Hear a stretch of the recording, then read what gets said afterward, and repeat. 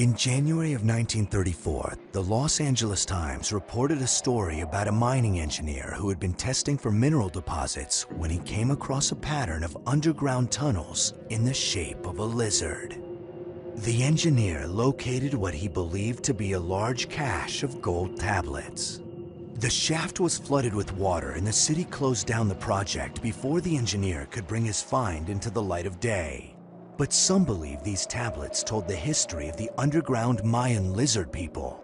Reptilians come to Earth to infiltrate the human race. Reptilians or reptoids are said to be races of intelligent creatures which come from extraterrestrial worlds or parallel dimensions. They live primarily underground or in caves and tunnels, that sort of thing.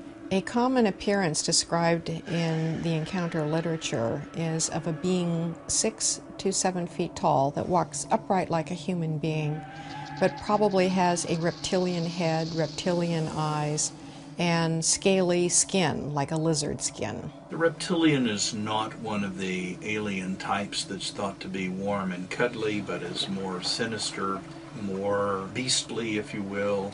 They seem to have great shape shifting abilities, and we can speculate that they could take on any form through various means in order to disguise themselves. Reptilians have uh, nothing on their minds so much as a worldwide conspiracy to take over the planet. Reptilians could have the same abilities as natural reptiles. Reptiles have specialized adaptations for living underground. They have uh, sensory cells in their eyes that allow them to see very well at night.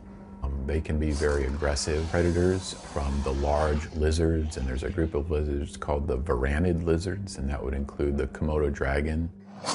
These are predators that display an ambush style of prey capture. Once it gets a grasp on a prey item, it doesn't need venom, it doesn't need constriction, it's just not going to let go. 500 years of modern astronomy has taught us that the universe is not only enormous, with 10,000 billion billion stars that we can see in an, an even larger number of planets, but it's all made of the same stuff. The real estate out there in space is pretty much like the real estate right here on Earth. So if there's life here, well, why wouldn't there be life there? Physicist Stephen Hawking points out that every time a more advanced society meets a less advanced society, it usually doesn't work out so well for the less advanced society. And so he figures maybe we shouldn't have any contact with aliens because it might not work out well for us.